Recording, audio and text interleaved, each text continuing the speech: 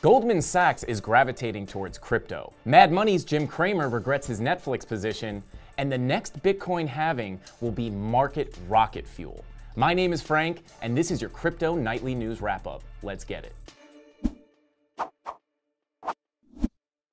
Not that long ago, Goldman Sachs was doing anything they could to keep their clients away from crypto.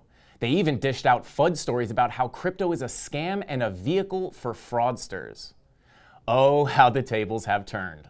Last year, Goldman Sachs was quietly filing patents to use XRP to validate transactions in the future. This year, they're making moves in broad daylight. CryptoBriefing.com reports Goldman Sachs CEO David Solomon met with FTX CEO Sam Bankman Fried in the Caribbean last month to discuss potential ways the two firms could strengthen their business relations. The thing is, FTX is yet to release an IPO, so it makes sense they would get in bed with a banking giant to navigate the waters of funding and regulation. In their Caribbean conversation, the two also discussed a possible collaboration in the realms of market making. The American banking giant wants in on the action, and their pockets are deep enough to simultaneously front run crypto and silence regulators. Long term, this story is more bullish for the future than you think. Goldman Sachs getting into crypto will keep them relevant as the financial winds change. For FTX, having Sachs in their corner will help them with regulation, liquidity, and possibly providing banking services on their exchange. CryptoBriefing.com points out due to crypto's still uncertain global regulatory status, incumbent banks have traditionally been hesitant to bank crypto service providers.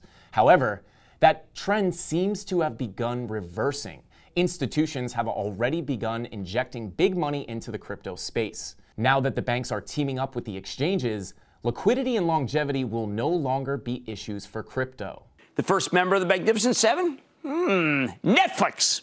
I saw a pathetic story today about how New York is reopening movie theaters as long as they're not in New York City. 50 people per showing, max. I yawned. I mean, who cares? Who wants that risk? Why not just stay at home and watch Netflix? The amazing thing about this one is the universality of its appeal. It's the Steve McQueen of the group.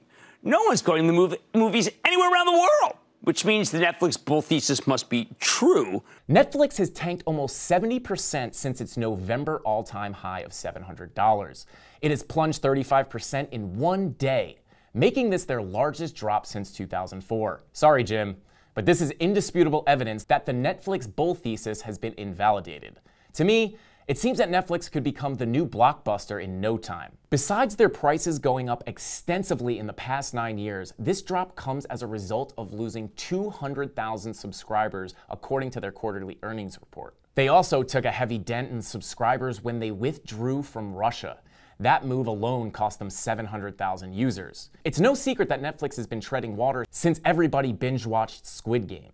And now they're talking about adding ads into their streaming service in effort to stay above water. In the case of Jim Cramer, you could argue that the clip we played was from the pandemic and a lot of people were home watching Netflix during the pandemic. That's a fair point. But this tweet here is from the 3rd of January this year. Good call on that one, Jimbo. I'd rather take stock advice from the Twitter page Inverse Cramer ETF, where they track the stock recommendations of Jim Cramer so you can do the opposite. Profitable advice, I'm sure. If you want crypto trading advice, be sure to check out our guy Frankie Candles, and I'll send it over to him now for our nightly market watch. Thanks, Frank. All right, guys, let's jump in and do a little market watch here. We got Bitcoin coming in at $40,528, down just about 2% for the day. Ethereum coming in at 2988, just lost that $3,000 level. Let's go ahead and check our top gainers. Tron up 14.6% for the day, almost 20% for the week. We got DCR up about 10% on the day, Kyber Network up 8% on the day, Theta Network up 5% for the day and Monero up about 5% for the day. Guys, obviously we had a pump this morning and we are starting to retrace just a little bit. We did lose that 41K level, which I didn't want to see, uh, but we'll see if we can get back above it overnight. The lower time frames aren't looking too bad. If you guys want to follow me, it's Frankie Candles on YouTube or Frankie underscore Candles on all socials. Back to the news. Thanks, Frank. The Bitcoin fourth halving event is 744 days away. And just thinking about it makes me want to put on my spacesuit.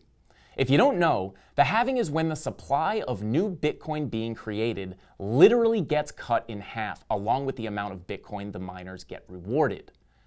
Right now, around 900 new Bitcoin gets created every day, and miners get 6.25 Bitcoin for each block created. After the halving, around 450 Bitcoin will be created per day, and the miners will earn around 3.125 Bitcoin per block. This is a recipe for parabolic price action because by the time 2024 rolls around, the demand for Bitcoin will be higher than it is now since more and more countries around the globe are giving crypto the green light. Finbold.com reports After the 19th millionth block was mined by SBI Crypto on April 1st, it became clear that only 2 million Bitcoin was left to be issued of the total supply of 21 million Bitcoin. Although we won't mine the last Bitcoin until 2140, every halving along the way there plays its own role in the story. Historically, Bitcoin pumps a year and a half after every Bitcoin halving, so around October, November 2025, we could be on the moon. Prepare for liftoff now while you still can. That's all I got. Be blessed. Frankie Candles out.